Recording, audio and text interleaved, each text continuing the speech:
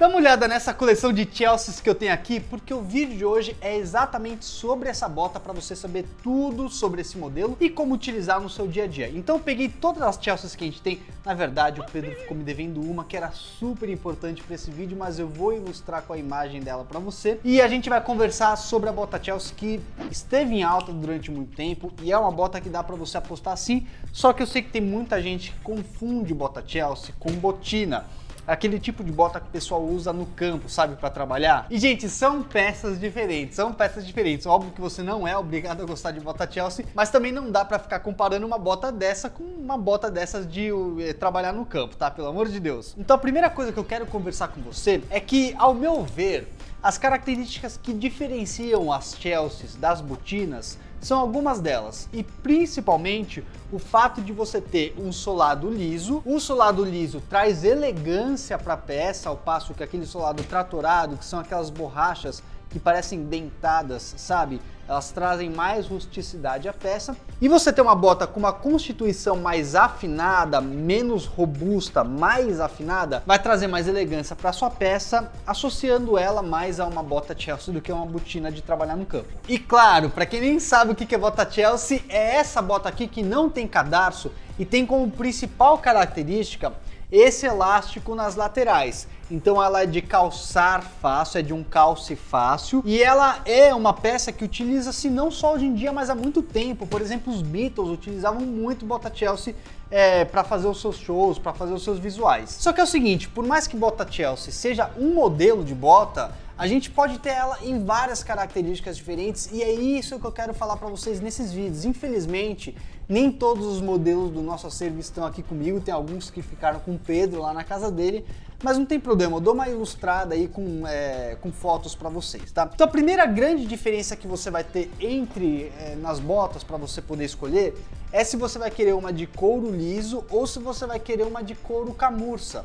Tá vendo? Essa é de couro liso, essa é de couro camurça. Em teoria, em teoria, o couro liso, ele é mais elegante do que a bota de couro camurça. Só que não significa que uma bota Chelsea de couro liso vai ser mais elegante do que uma de couro camurça. Por exemplo, eu considero que essa daqui é até mais elegante do que essa.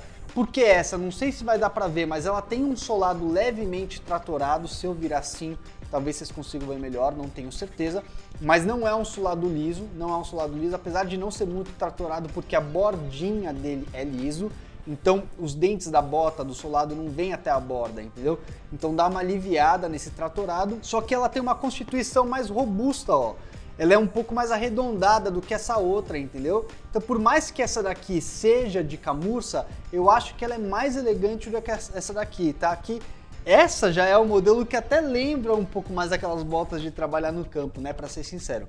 Então, o couro liso, por mais que em teoria ele seja elegante, não significa que toda bota Chelsea de couro liso vai ser mais elegante do que qualquer bota Chelsea de couro camurça, tá? Além disso, a gente tem as variadas cores. No couro liso, você vai ter o marrom em suas diversas tonalidades, do mais claro ao mais escuro, e também tem as pretas. Bota Chelsea pretas são, meu, é, tradicionalíssimas, né? E no couro camurça aí você vai ter mais opções ainda, porque você tem as diferentes graduações de marrom, tá? De marrons, é, mais escuros e mais claros. Você tem as pretas também, tá vendo?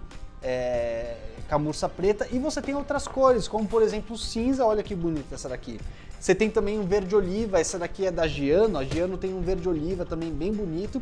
E de repente você pode conseguir encontrar até outras cores, tá? Então cores mais diferentes como cinza, verde oliva ou outras cores já vai ser mais difícil de combinar, são botas menos versáteis. Eu acho essa bota lindíssima, só que ela já é de mais difícil combinação, ela não vai assim com qualquer visual, sabe?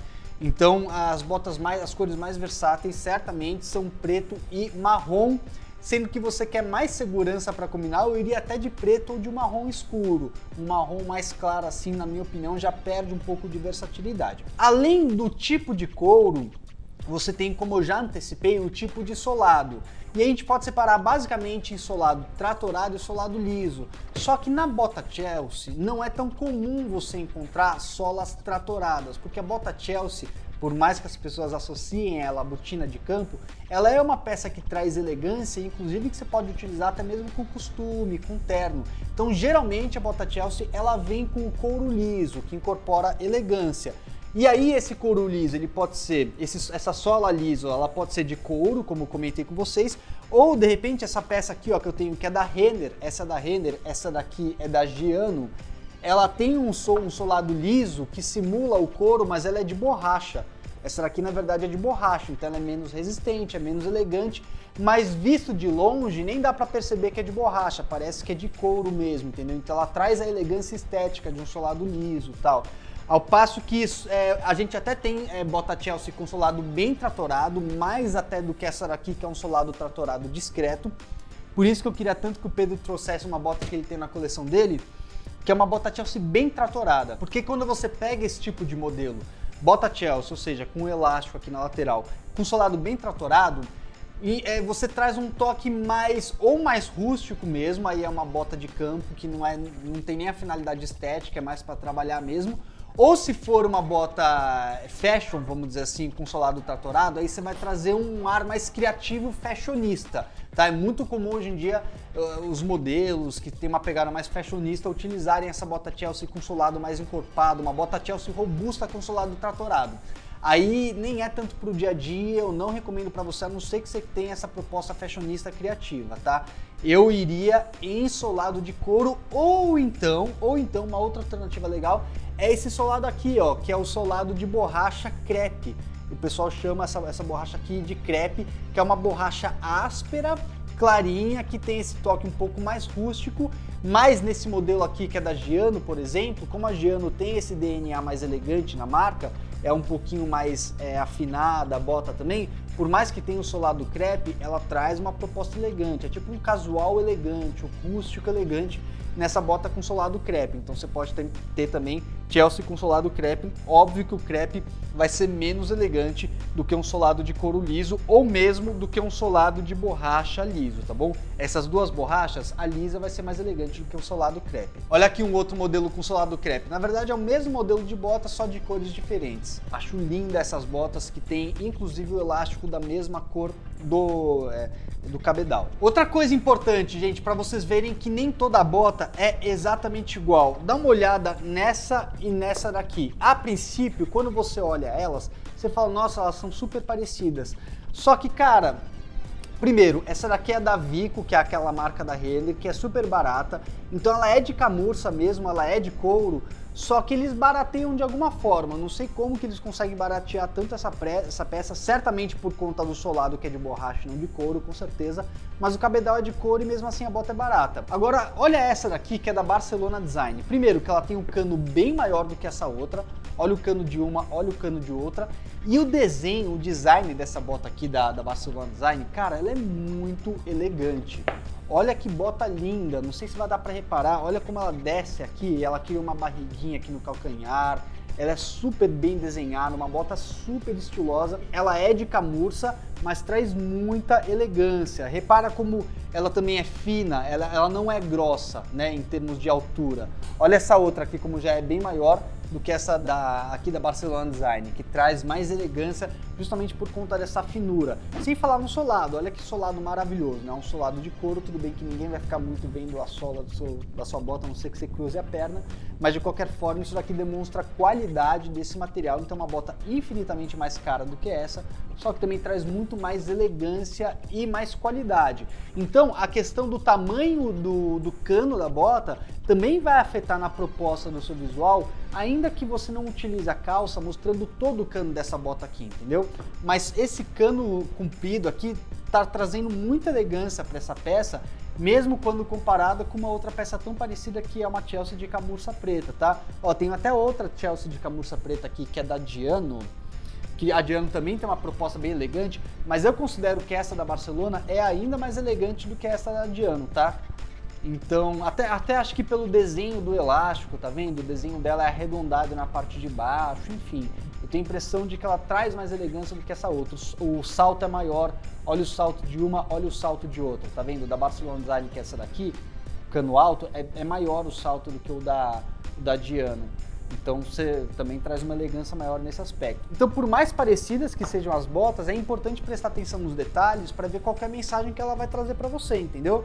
E aí quando você pega uma peça tipo essa daqui, que é super elegante, eu já teria um pouco de dificuldade de combinar ela num look extremamente casual, tipo com uma calça jeans clara e uma camiseta lisa, entendeu? Eu utilizaria com uma calça tino, se quer usar com uma camiseta, com uma calça tino, de repente a camiseta por dentro da calça, ou usar com uma camisa mesmo, ainda que não seja uma camisa social, uma camisa casual, porque é uma bota que entrega elegância, então gostaria de trazer elegância nos outros itens do meu visual. E basicamente é isso, gente, não tem muito mais o que ficar falando além do material do cabedal, material do solado e o design da bota como um todo, porque fora isso a bota Chelsea é caracterizada por esse elástico na lateral.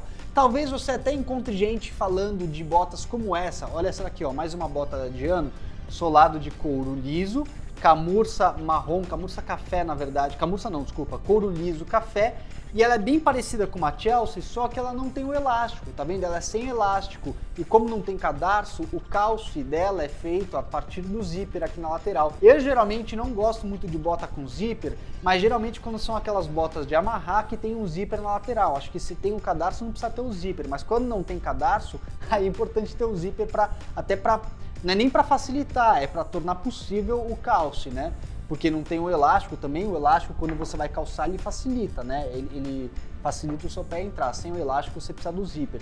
Então você pode ter esse tipo de bota que também é bem elegante, bem bonita, que não é tecnicamente uma bota Chelsea porque não tem o elástico, mas talvez você encontre pessoas falando também com uma bota Chelsea, beleza? Mas se ficou qualquer dúvida em relação à bota Chelsea, como utilizar, se deixa nos comentários também, apesar da gente já ter outros conteúdos dessa bota bem legal, tá? Como eu falei, ó, temos aqui bota da Diano, temos bota da Barcelona, temos bota dessa marca chamada SPK, que eu nem sei se existe mais, para ser sincero, mas você vai encontrar bota Chelsea também em outras marcas, deve ter na Adolfo Turrion, talvez na Black Boots você encontra, tem na Lui, tem na L, enfim, bota Chelsea é fácil encontrar hoje em dia e peças assim de bastante respeito. Essas marcas que eu falei, eu, eu garanto que elas vão ter qualidade se elas te entregarem bota Chelsea. Nas outras botas também, tá? Mas como o vídeo é de bota Chelsea, acho que elas entregam e aí vocês procuram aí. Beleza, gente? Mais uma vez, qualquer dúvida, deixe nos comentários que a gente vai trocar ideia e tô deixando outros vídeos de bota Chelsea para você conhecer ainda mais sobre esse modelo.